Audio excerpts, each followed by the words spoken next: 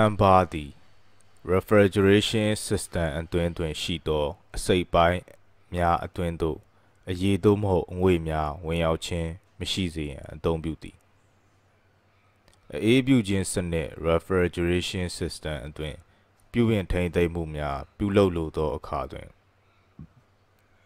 ဟမ်ဘာများကိုပိတ်ခြင်းကြောင့် refrigeration system အတွင်းအေးပြုတန်းငွေအရေး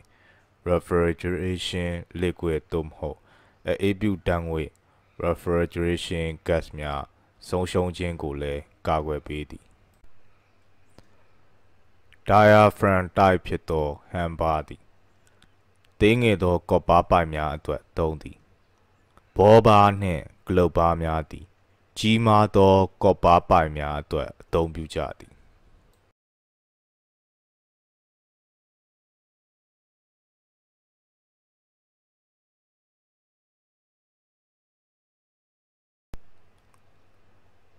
ဟမ်ဘာများကိုအေးပြုစနစ် refrigeration system အတွင်းအေးပြုတန်းငွေ refrigerant gas နှင့်အေးပြုတန်းငွေအရေး refrigerant liquid များစီစဉ်ခြင်းကိုတားဆီးရန်အတွက်အသုံးပြုကြသည် refrigeration system အတွင်းအရန်အစိတ်အပိုင်းများ auxiliary device များအတွင် refrigerant gas သို့မဟုတ် refrigerant liquid တို့စီစဉ်ခြင်းကိုပိတ်ဆို့ခြင်းကြောင့် ကောင်းစွာ ပြုပြင်နိုင်ပေသည်ဟမ်ဘာများကို ပုံသွင်းပြထားသည့်အတိုင်းတပ်ဆင်ထားပါက feeder dryer များကို refrigerant liquid များဆုံးရှုံးခြင်းမရှိဘဲဖြုတ်လဲနိုင်ပေသည်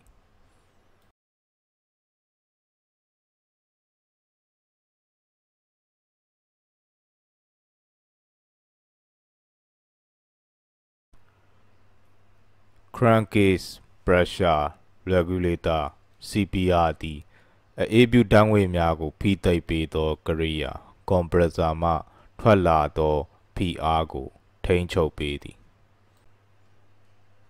၎င်း၏အဓိကရည်ရွယ်ချက်မှာ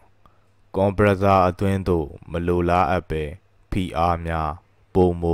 ဝင်ရောက်လာခြင်းကို ကာကွယ်ပေးသည် compressor မှစုပ်ယူသောဖိအား suction pressure သည် refrigeration system စတင်လည်ပတ်နေသောအချိန်နှင့် အပူများကိုစုပ်ယူသောကွာ evaporator ရေခဲခြင်းကို ကာကွယ်ပေးသောအခြေအနေ defrost cycle တို့တွင်သတ်မှတ်ထားသည့်ထက် ပိုများနေတတ်သည်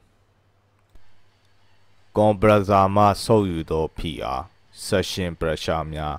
သတ်မှတ်ထားသည့်ထက်ပိုပြီးများပြားလာခြင်းသည် compressor မှအထွက်ဖိအား discharge pressure ကိုပုံမမြင့်တက်လာစေပြီး compressor မနိုင်ဝန်ထမ်းခြင်း overload ကို ဖြစ်ပေါ်စေသည်။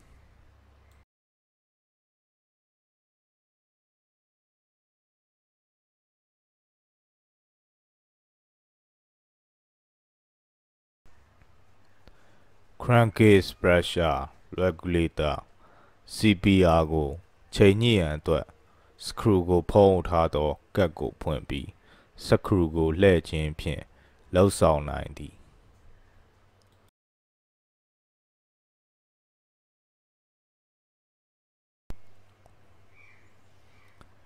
အဲ့ဒီလိုချိန်ညှိနေသောအချိန်တွင် gauge board တွင်ဖိအားနှိမ်ကို တိုင်းတာသောကရိယာ low pressure gauge ကို တပ်ဆင်ရမည်ဖြစ်သည် refrigeration system တွင် အသုံးပြုသော CPR အများစုသည် compressor မှစုပ်ယူသောဖိအား suction pressure ကို18 psi ပေါင်းပါ square inch gauge သို့မဟုတ်20 psi ပေါင်းပါ square inch gauge အတွင်ထားလေရှိကြသည်တနည်းဆိုသော compressor အတွင်းသို့ဝင်လာသောဖိအား pressure သည်18 psi ပေါင်းပါ square inch gauge သို့မဟုတ်20 psi ပေါင်းပါ square inch gauge ရှိသည်ဟုဆိုလိုခြင်းဖြစ်သည် CPR ကိုတက်ဆင်ခြင်းအပြင် compressor ၏စုပ်ယူသောဖိအား suction pressure သည်ထိန်းချုပ်မှုအောက်တွင် ရောက်နေသည်သို့မဟုတ်20 psi ပေါင်းပါ square inch gauge အတွင်းရှိနေပေမည်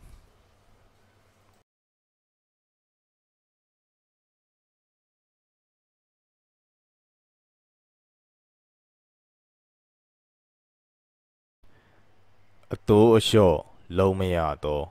non adjustable head pressure control bar သည်အေးခဲနေသော အပြင်ပတ်ဝန်းကျင်အခြေအနေတွင် အ ਨੇ ဆုံးသော head pressure ကို အထိုက်အလျောက်ရရှိအောင်လှုပ်ဆောင်ပေးသည်ဒီနေရာတွင် ပြောလိုသည့် head pressure ဆိုသည်မှာ refrigerant အငွေ့များ condenser အတွင်းသို့ ရောက်ရှိရန် လိုအပ်သောဖိအားကို ဆိုလိုသည် head pressure သည်သတ်မှတ်ထားသော အတိုင်းအတာသို့ကျဆင်းလာသောအခါပူနွေးသောအေးပြုတန်းငွေ hot refrigerant gas များကိုလမ်းလွှဲပိုက် bypass မှတဆင့်အေးပြုတန်းငွေအရှိ refrigerant liquid များကိုတင်ဆဲပေးသောကရိယာ receiver အတွင်းသို့ဝင်ရောက်စေသည် head pressure control bar သည်အ ਨੇ ဆုံးသော head pressure ဖြင့်အပူများကို ပြင်ပသို့စွန့်ထုတ်ပေးသောကရိယာ condenser အတွင်းသို့ ပူနွေးသောအေးပြုဓာတ်ငွေ hot refrigerant gas များရောက်ရှိစေရန်လိုအပ်သောပူနွေးသောအေးပြုဓာတ်ငွေ hot refrigerant gas ပမာဏကိုလမ်းလွှဲပိုက် bypass မှတဆင့် receiver အတွင်းသို့ပို့ဆောင်ပေးသည်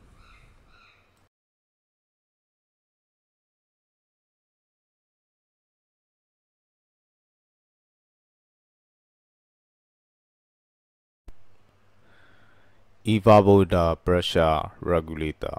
EPR သည်အပူများကိုစုပ်ယူပေးသောကရိယာ evaporator အတွင်းရှိ PR ကို evaporator pressure regulator EPR တွင်သတ်မှတ်ထားသည့်ထက်မနှိမ်ကျစေရန် ပြုလုပ်ပေးခြင်းသည်၎င်း၏အဓိကရည်ရွယ်ချက်ဖြစ်သည်၎င်းကို evaporator ရေခဲခြင်းမှကာကွယ်ရန် အပူချိန်နှမျိုးအသုံးပြုလိုသောစနစ် evaporator တစ်ခုထက်ပိုသောစနစ်တို့တွင် အသုံးပြုကြသည် evaporator pressure regulator သည်အတိုးလျှော့လုံးနိုင်ပြီး section line ၏မိသည့်နေရာတွင်မဆိုတက်ဆင်နိုင်သည် evaporator pressure regulator EPR ဘာကို အတိုးအလျှော့လုပ်ရန်အတွက် cap ကိုဖြုတ်ပြီး adjustment screw ကို has1 ဖြင့်လှည့်ပြီးချိန်ညှိပေးရမည်ဖြစ်သည်နိုင်လက်တံအတိုင်းလှည့်လျင်ဖိအားသတ်မှတ်ချက်ကို မြင့်တင်ခြင်းဖြစ်သည်ဖိအားပမာဏကိုပြသောကရိယာ pressure gauge ကို gauge ဘို့တွင်တက်ဆင်ပြီးသ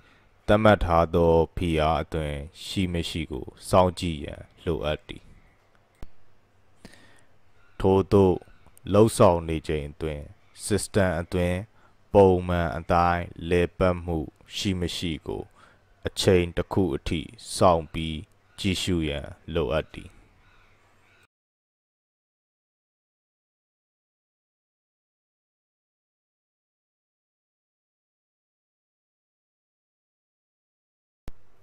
evaporator pressure regulator EPR ကို evaporator ကွိုင်းရေခဲခြင်းမှကာကွယ်ရန်အသုံးများသည် air conditioning system များတွင် R22 chloro di fluoro methane အေးပြုတန်းဝိတ်အသုံးပြုသောအခါ refrigeration system တွင်45ပေါင်းပါ square inch gauge PSIG အောက်မရောက်ရှိစေရန်ကာကွယ်ပေးသည် evaporator pressure regulator ၏အဓိကရည်ရွယ်ချက်မှာ evaporator pressure ကိုသတ်မှတ်ထားသည့်ထက် မကျဆင်းစေရန်ကာကွယ်ပေးခြင်းဖြစ်သည်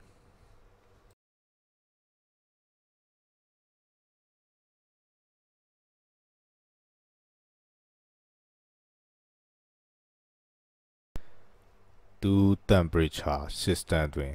ပိုပြီးအေးခဲသော ရေခဲမှုန်အခန်းသည် freezer ကိုထားရှိပြီး၎င်းသည် primary system ဖြစ်ပြီးနောက်တစ်ခန်းကတော့ no ထွက်ကုန် diary ကို ထားရှိရန် လိုအပ်သောကြောင့်ကူလာတွင် ထားရှိရမည်ဖြစ်သည် evaporator pressure regulator EPR သည်နိုးထွက်ကုန်များ တူလောင်သည့်အခန်းအေးခန်းဓာရီကူလာ၏ကွန်ပရက်ဆာ၏ဆိုယူသောလိုင်းဆက်ရှင်လိုင်းပေါ်တွင်တပ်ဆင်ထားရန်လိုအပ်ပြီး၎င်း၏ PR သည်68 PSIG ပေါင်းပါ square inch gauge ရှိရမည်ဖြစ်သည် evaporator pressure regulator EPR သည်နိုးထွက်ကုန်များတိုးလောင်သည့်အေးကန်ဒါရီကူလာ၏အပူချိန်ကို 32ဒီဂရီဖာရင်ဟိုက်ထက်ပို၍မအေးခဲစေရန် ပြုလုပ်ပေးသည်ဖရီဇာ၏ကွန်ပရက်ဆာမှစုပ်ယူသောလိုင်းဆက်ရှင်လိုင်းတွင် ချက်ပါးကိုတပ်ဆင်ရန်လိုအပ်သည်အဘဲကြောင့်ဆိုသောနိုးထွက်ကုန်ပစ္စည်းများကိုအေးခန့်သောနေရာဒါရီကူလာအတွင်းမှအေးသောအေးဖြူတံငွေများဒါရီကူလာဗီပါများဖရီဇာမှ ဝင်ရောက်လာခြင်းမရှိအောင်ကာကွယ်ပေးသည် refrigeration system အတွင်း PR များကို ထိန်းချုပ်ပေးသောကိရိယာ system pressure control သို့မဟုတ် system control သည်ဒါရီကူလာနှင့်ရေခဲမုန်များထားသော freezer လွန်းတို့မှ compressor အတွင်းသို့စုပေါင်းပြီးဝင်ရောက်လာသော session လိုင်း၏ PR ကိုသတ်မှတ်ထားသော အမှတ်တွင် စီစဉ်စေခြင်းကတ်တင်နှင့်စီစဉ်မှုကိုဖျက်တောက်ခြင်းကတ်တောက်တို့ကိုလှုပ်ဆောင်ပေးသည်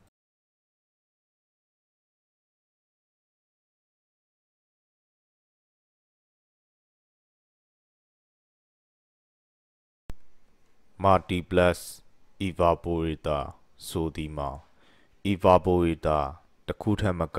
ပါဝင်သော refrigeration system ကိုဆိုလိုသည်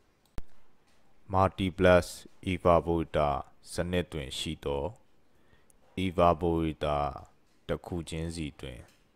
အပူချိန်ကိုထိန်းချုပ်ရန်အတွက် evaporator pressure regulator EPR ကိုတပ်ဆင်ထားသည် compressor တစ်ခုတည်းနှင့် evaporator များစွာကို ချိတ်ဆက်ထားပြီးထိုချိတ်ဆက်ထားသော evaporator တစ်ခုချင်းစီကို evaporator pressure regulator EPR တစ်ခုချင်းစီဖြင့်ချိတ်ဆက်ထားသည်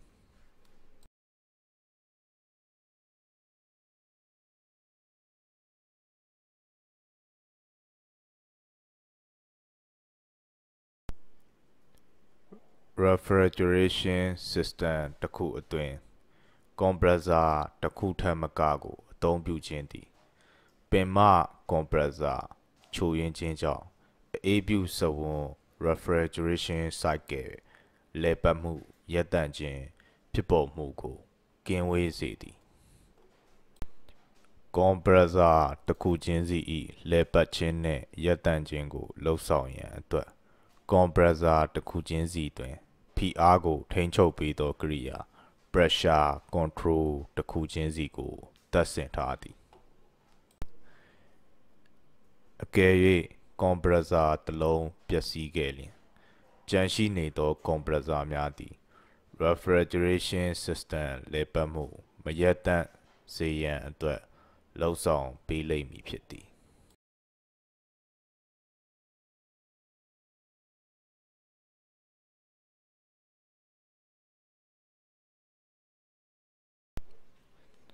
ဆိုလိုနိုင်ပါသည်အဖွင့်အပိတ်နှမျိုးစလုံးကို ပြုလုပ်နိုင်သည့်လျှက်စစ်တန်လိုက်ကွိုင်မဂနက်တစ်ကွိုင်တို့လျှက်စစ်စီးဆင်းခြင်းမရှိသည့်အခါအေးပြုတန်ငွေ refrigerant gas တို့မဟုတ်အေးပြုတန်ငွေအရေး refrigerant liquid များစီးဆင်းသောလမ်းကြောင်းပေါ်တွင်ရှိသော အပေါ်တက်အောက်ဆင်းပြုလုပ်ပေးသောအရာဝတ္ထုဖြစ်သောပလန်ချာလေးသည် အောက်သို့ရောက်ရှိနေသောကြောင့် refrigerant gas သို့မဟုတ် refrigerant liquid များ စီးဆင်းခြင်းကိုရပ်တန့်ပေးသည်ထိုအခြေအနေသည် solenoid ပါပိတ်သောအခြေအနေဖြစ်သည်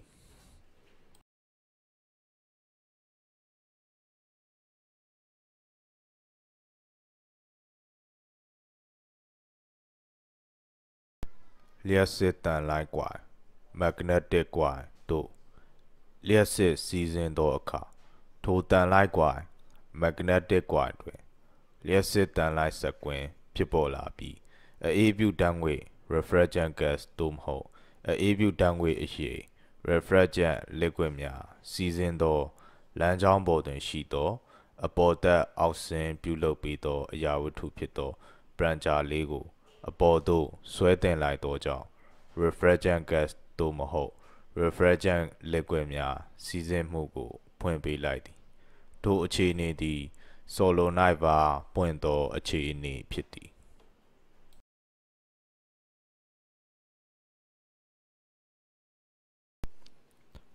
ပန်တောင်လှုပ်ဆောင်ခြင်းသည်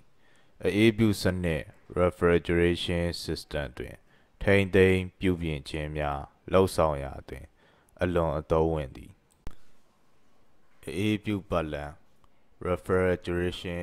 circuit တွင် ပန်တောင်လှုပ်ဆောင်ခြင်းသည် compressor လေပတ်ခြင်း on cycle နှင့် compressor ရပ်တန့်ခြင်း off cycle တို့ပြုလုပ်သည့်အချိန်တွင်အေးပြုတန်းငွေအရေး refrigerant liquid များ compressor အတွင်းသို့ပြန်လည်မရောက်ရှိစေရန်လှုံ့ဆော်ခြင်းဖြစ်သည်ပန့်တောင်စနစ်တွင် low pressure site တွင်ရှိသော refrigerant များအားလုံးကို high pressure site သို့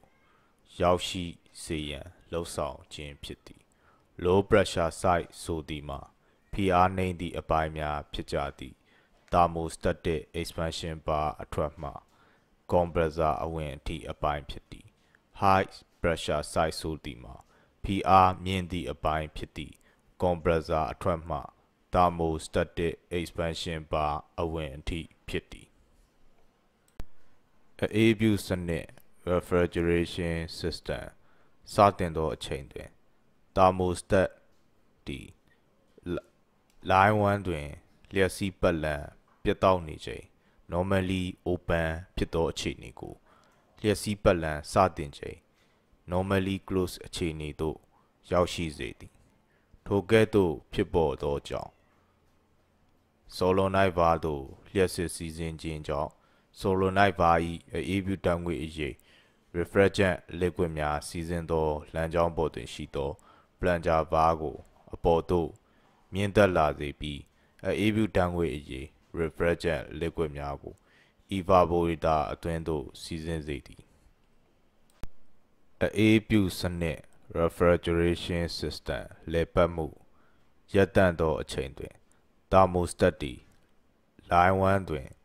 လျှက်စီးပတ်လံစတင်ချိန် normally close အခြေအနေမှလျှက်စီးပတ်လံပြတ်တောက်သောအချိန် normally open အခြေအနေသို့ရောက်ရှိစေပြီး solenoid valve သို့လျှက်စစ်စီးဆင်းခြင်းဖြစ်တောက်လိုက်သောကြောင့် solenoid valve ၏အေးပြုတန်းငွေအရေး refrigerant liquid များစီးဆင်းသောလမ်းကြောင်းပေါ်တွင်ရှိသော plunger ကို အောက်သို့ရောက်ရှိစေသောကြောင့် refrigerant liquid များ evaporator အတွင်းသို့စီးဆင်းခြင်းကိုရပ်တန့်လိုက်သည်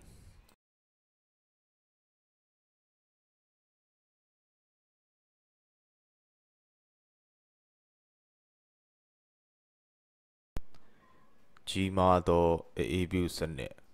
refrigeration system များတွင်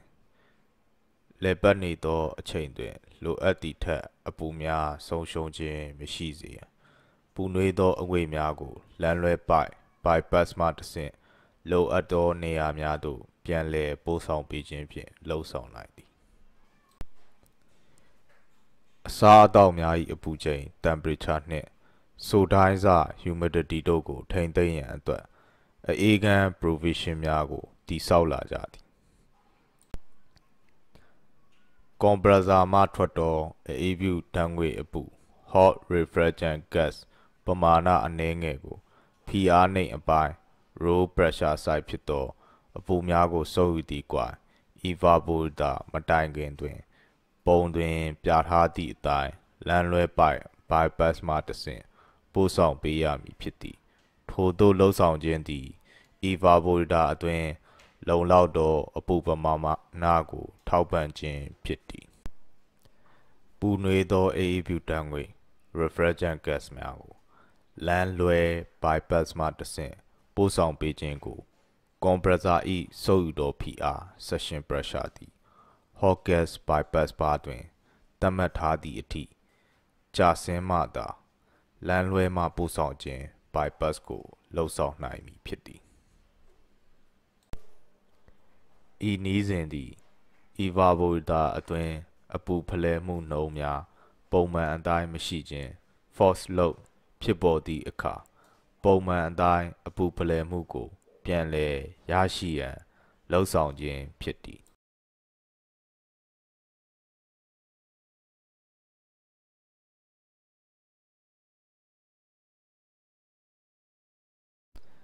ပူနွေးသောအေးပြူတန်းငွေ hot gas များကို အပူများကိုစုပ်ပေးသောကွာ evaporator မှ compressor ၏စုပ်ယူသော line section line သို့လမ်းလွဲမှတဆင့်ပေးပို့ခြင်း bypass ကို ပြုလုပ်လေ့ရှိကြသည်ထို့သောလမ်းလွဲ bypass မှတဆင့်ပေးပို့လိုက်သောပူနွေးသောအေးပြူတန်းငွေ refrigerant hot gas များသည် compressor သို့မဝင်ခင်တွင်အေးပြူတန်းငွေအရေး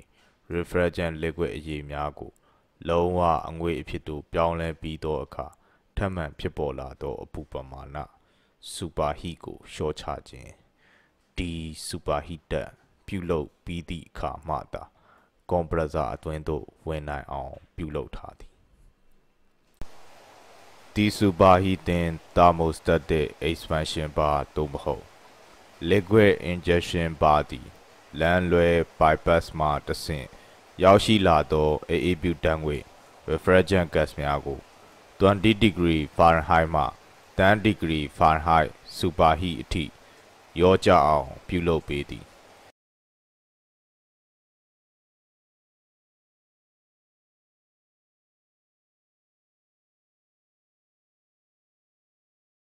ပုံတွင်ပြထားသည်မှာ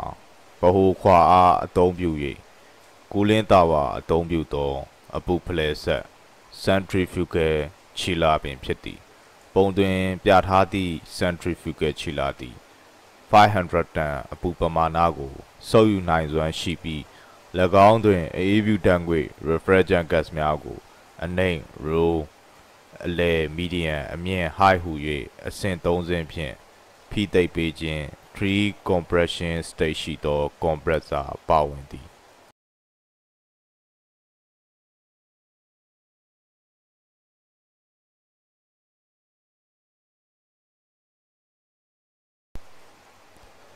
evaporator အတွင်းတွင်ရှိသောအေးပြူတန်းငွေအရည် refrigerant liquid များ၏မျက်နှာပြင်အမြင့်သည်ရေများစီးဆင်းသည့်ပိုက် water tube အထက်တွင် ရှိနေရမည်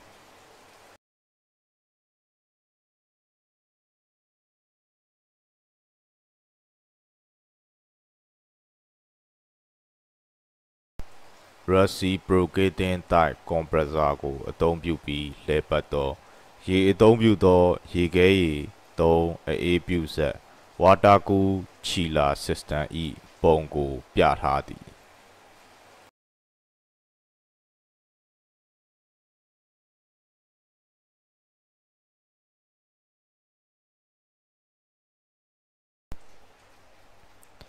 open loop ဆိုသည်မှာ refrigeration system အတွင်းရှိရေများသည် ပြင်ပလေထုနှင့်ထိတွေ့နေစေပြီး ပြန်လည်အေးခံခြင်းကိုဆိုလိုသည် ပုံတွင်ကွန်ဒန်ဆာမှပူနွေးသောရေများသည်ကူးလင်းတာဝါအတွင်းတွင် ပြင်ပလေထုနှင့် ပြန်လည်အေးခံပြီးကွန်ဒန်ဆာကျုအတွင်းရှိ ပူနွေးသောဖိအားမြင့်အေးပြူအငွေ high pressure gas များကိုအေးခံခြင်းဖြစ်သောကြောင့် open loop system ဖြစ်သည်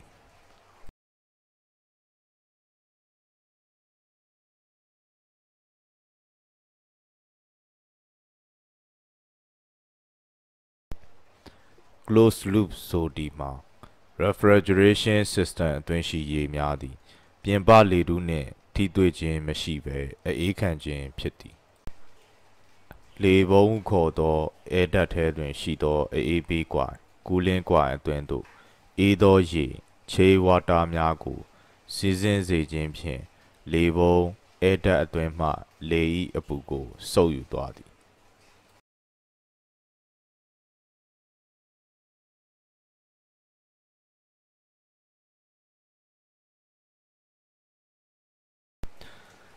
ပိုင်းနှစ်ခုသုံးသောခြေလာ system သည်အပူချိန်မတူညီသော အခန်းများတွင် air handling unit များကိုတပ်ဆင်သောအခါတွင် အသုံးပြုသော refrigeration system ဖြစ်သည်ပိုင်းနှစ်ခုသုံးသောခြေလာ system သည်နေရာသည်တွင်အေးခဲနေသောရေများကို air handling unit အတွင်းရှိ ကွာအတွင်းသို့ပန့်ဖြင့်တွန်းတင်ပြီး စောင်းရသည်တွင် ပူနွေးသောရေများကို air handling unit အတွင်းရှိ ကွာအတွင်းသို့ပန့်ဖြင့်တွန်းတင်ပေသည်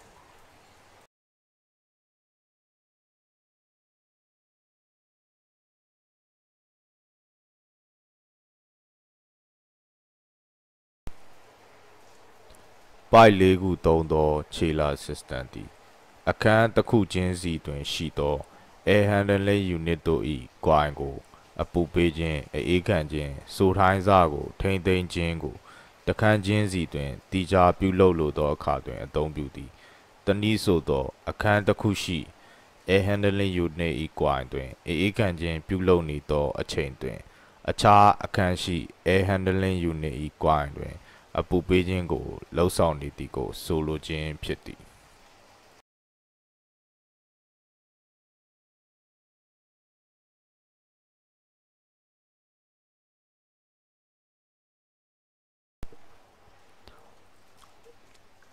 ဟီပန့်ဆိုသည်မှာ air conditioning system တွင်အေးပြုတံငွေအရေ refrigerant liquid များကို ပြောင်းပြန်စီစဉ်ခြင်းဖြင့် evaporator တွင် ပူနွေးသောအေးပြုတံငွေအရေ refrigerant gas များစီစဉ်စေခြင်းဖြစ်သည်ထို့ကြောင့်အခန်းပြင်ပရှိ အပူစွန့်သောဆက်အောက်ဒိုးယူနစ်သို့မဟုတ် condensing unit သည်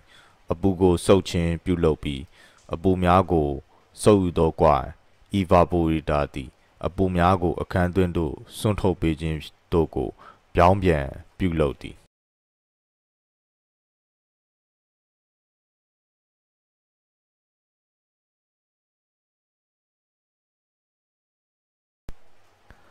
refrigeration system အတွင်းတွင်ရှိသော thermostat သည်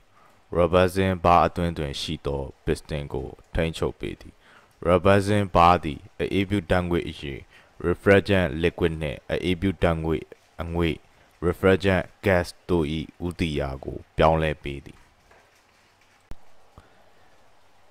အေးပေးခြင်းကူးလင်းသို့မဟုတ်အပူပေးခြင်း heating ကို Robertson bar အတွင်းရှိကွိုင်ကိုလျှက်စစ်စီးစေခြင်း energize လုပ်ခြင်းဖြင့် piston ကိုဘယ်သို့မဟုတ်ညာသို့ရွေ့လျားစေပြီး compressor မှထွက်သော refrigerant gas compressor discharge gas များကိုအေးပေးလိုသောအချိန် cooling cycle တွင် ပြင်ပတွင်ရှိသော condenser ကွိုင်အတွင်းသို့ရောက်ရှိစေပြီးအပူပေးလိုသောအချိန် heating cycle တွင် အခန်းအတွင်းတွင်ရှိသော evaporator ကွိုင်အတွင်းသို့ရောက်ရှိစေသည်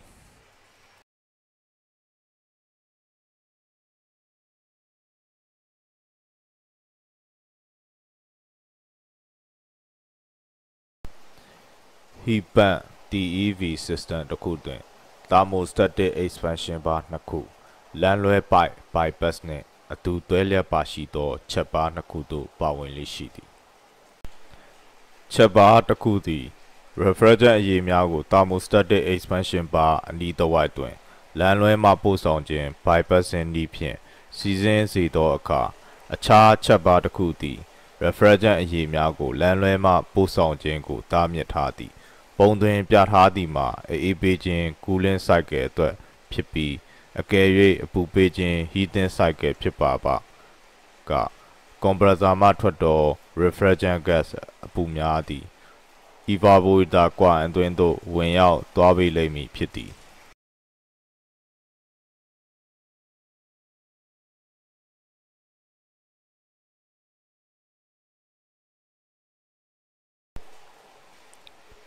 heat pump capillary juice system တွင် refrigerant အရည်သို့မဟုတ် refrigerant အငွေ့များအသွားအပြန်စီးဆင်းခြင်းကိုပြုလုပ်နိုင်သည် capillary juice ဆိုသည်မှာစံကြည်မြင်ပုံစံပိုက်ကိုဆိုလိုသည် capillary juice ၏အဝင်နှင့်အထွက်တွင် filter dryer ကိုတပ်ဆင်ထားသည် filter dryer ဆိုသည်မှာ refrigeration system အတွင်းတွင်ရှိသော အမှိုက်ဒရိုက်များနှင့် acid ဓာတ်ဖြစ်ပေါ်နိုင်သောရေကိုဖယ်ထုတ် ပေးသောကိရိယာဖြစ်သည် filter dryer နှမျိုးရှိသည်၎င်းတို့မှာ liquid line type filter dryer နှင့် suction line type filter dryer တို့ဖြစ်သည် liquid line type filter dryer သည် condenser ကွာနှင့် expansion bar မတိုင်ခင်တွင်သက်ဆင်နိုင်သည် suction line type filter dryer သည် evaporator ကွာ၏အစုံနှင့် compressor မတိုင်ခင် နေရာနှစ်ခုကြားတွင်သက်ဆင်ကြသည်ဤ suction line type filter dryer သည် refrigeration system အတွင်းရှိအအေးပြုဓာတ်ငွေ့ refrigerant gas များညဉ့်ညမ်းနေသောအခါတွင်အညစ်အကြေးများ compressor အတွင်းသို့မဝင်ရောက်နိုင်အောင်တားဆီးပေးသည်